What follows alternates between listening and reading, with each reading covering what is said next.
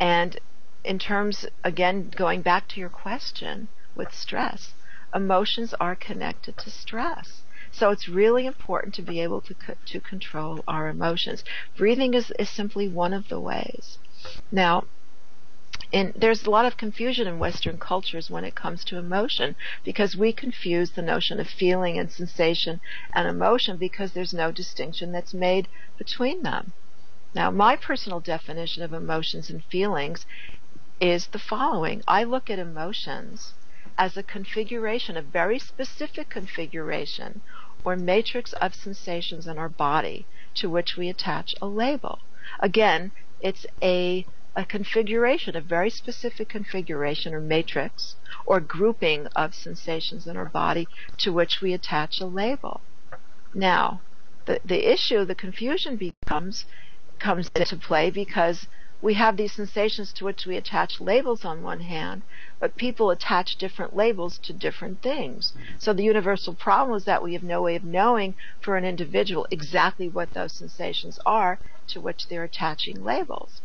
And for example, when a person says, "Oh, I'm happy," that happiness is created again it's a it's a configuration of sensations in the body what makes one person happy may be, I mean, uh, what, how a person determines if he or she is happy is calibrated by, let's say, a lightness in the chest. For another person, it may be a tingling in the body.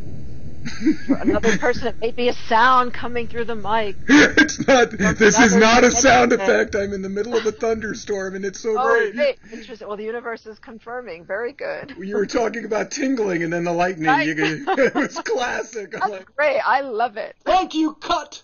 You've been wonderful. Good night, folks. Sorry. Well, It's- you know, it's, there, there's that. It's a vibration. I mean, here we have an electrical impulse. These feelings are connected. No, no pun intended to these impulses in our body.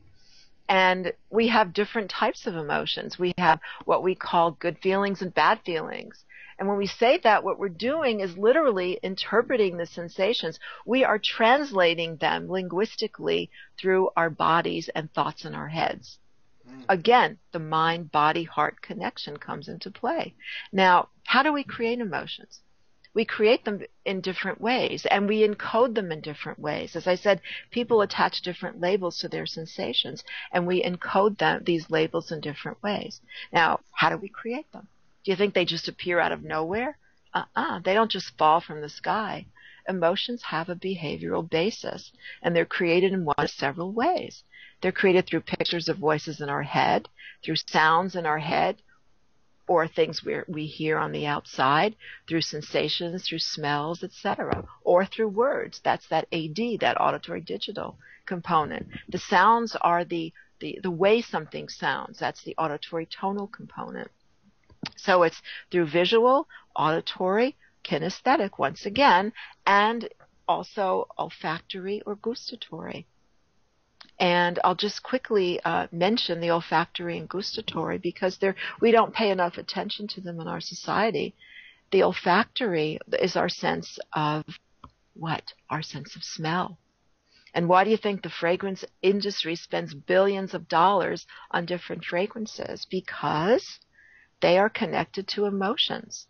They are connected to feelings, to experiences we've had. Have you ever walked into a room and you smell a particular, whether it be a rose or a fragrance, it'll immediately take you back to a time in your life where, oh wow, this feels really, it was just a wonderful experience you had. Taste is also important. The gustatory. Chocolate. Have you ever tasted a piece of chocolate that takes you back to a time when you were, oh my, that first experience you had whatever it may be uh, with a loved one where you're eating chocolate or whatever, it, it just conjures up all these amazing images.